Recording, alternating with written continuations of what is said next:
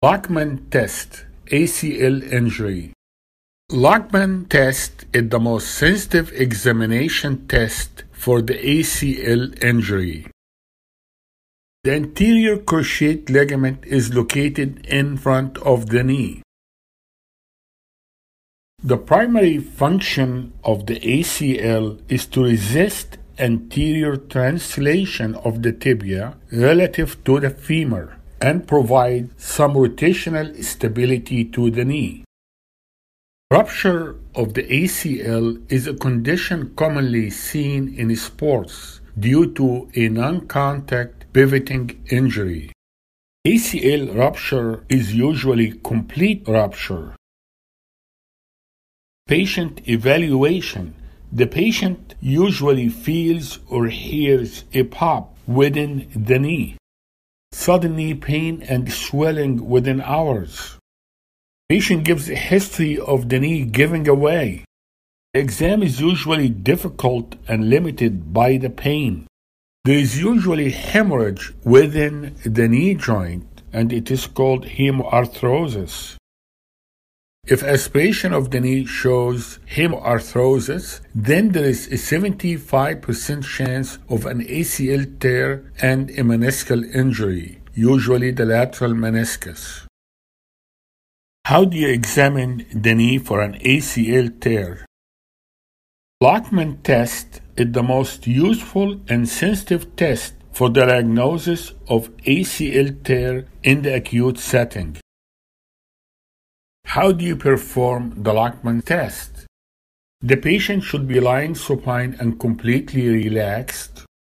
Make sure that the patient's hip muscles, quadriceps, and hamstring muscles are all relaxed. Bend the knee to about 20 to 30 degrees. Stabilize the femur with one hand and with the other hand pull the tibia anteriorly and posteriorly against the femur. With an intact ACL, as the tibia is pulled forward, the examiner should feel an end point. The examiner should feel a firm end point. With an ACL rupture, the ACL will be lax and the examination will feel softer with no end point. The tibia can be pulled forward more than normal. This is the anterior translation of the tibia. A sense of increased movement and lack of a solid endpoint indicates an ACL injury. Lachman test is the best examination test to diagnose tear of the ACL. Be aware that the PCL tear may give posterior subluxation of the tibia and gives a false positive Lachman test.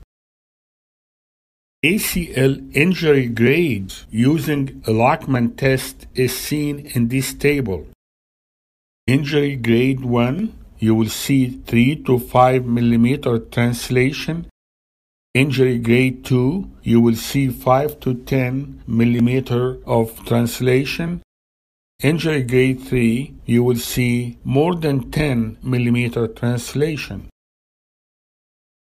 In addition to assessing the amount of translation of the tibia and the quality of the endpoint of the Lachman exam, you need to examine the patellar tendon and quadriceps tendons because rupture of the ACL and rupture of these tendons may be confused with each other.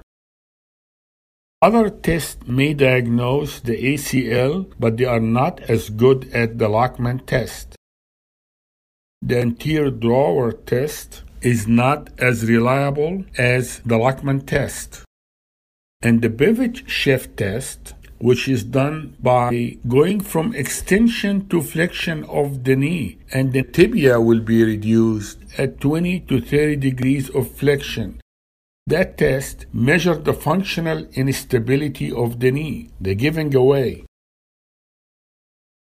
The pivot shift is pathognomonic for an ACL tear and is best demonstrated in a chronic setting. It is a more difficult test than the Lachman. Rupture of the ACL causes anterolateral rotatory instability.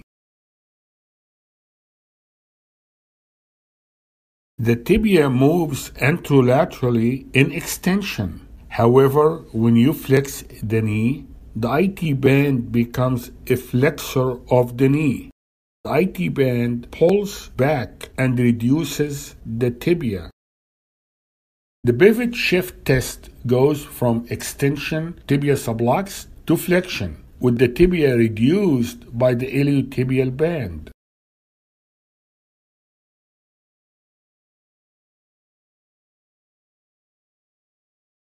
Both Lachman's test and the pivot shift test are associated with 20 to 30 degree of knee flexion. The Lachman test starts at 20 to 30 degree of flexion. With the pivot shift test, you feel the clunk at 20 to 30 degree of flexion. So it seems like 20 to 30 degree of flexion is important for the examination of the ACL. Usually, the diagnosis of ACL rupture is confirmed with an MRI. In addition to the ACL tear, the MRI of the knee joint can show bone bruises or injuries that can be consistent with an ACL tear.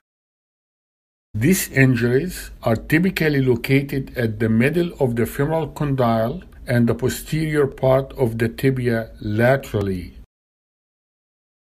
Thank you very much. I hope that was helpful.